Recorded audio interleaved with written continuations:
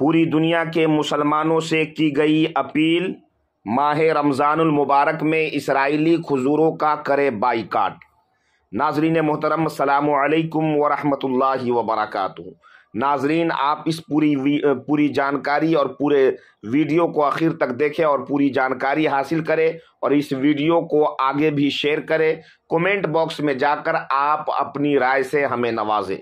नाजरीन, यूरोप में मुसलमानों की हौसला अफजाई की जा रही है कि वो फ्रूट लेबल चेक करे और इस रमज़ानुल मुबारक में इसराइली खजूर न खरीदे। एक नई बाइकाट मुहिम के मुंतजमीन ने हफ़्ता के दिन ये बात कही।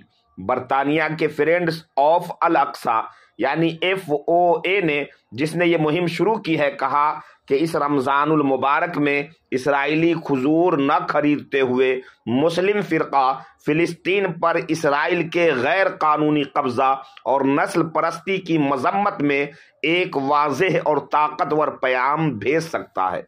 नाजरीन, इसराइल मेड जोल खजूर पैदा करने वाला सबसे बड़ा मुल्क है। इसराइल की 50 फ़ीसद बरामदात यानी आमदनी यूरोप को होती है। ये खजूर वहाँ की बड़ी सुपर मार्केटों और मकामी दुकानों में बिकते हैं। एफ़ ओ ए ने कहा कि बरतानिया, नीदरलैंड, फ्रांस, स्पेन और इटली ये खजूर बड़ी मकदार में दरामद करते हैं। यहाँ इस बात का तस्करा बेजा न होगा कि इसराइल इसराइल ने जारिया साल कम अज कम बासठ फिलिस्तीनियों बशमूल तेरह बच्चों को हिलाक किया है। बरतानिया की मसाजिद में सत्रह मार्च को डे ऑफ़ एक्शन मनाया जाएगा।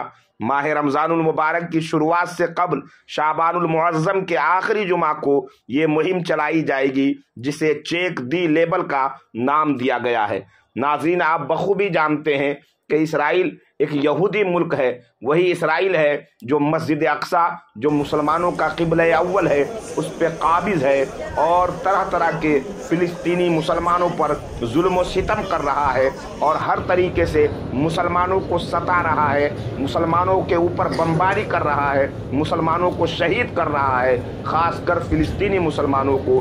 तो नाजरीन, इसकी वजह से ये मुहिम चलाई जा रही है कि इस माह रमज़ान मुबारक में इसराइली खजूर मुसलमान न खरीद कर उसके बाइकाट मुहिम में हिस्सा ले।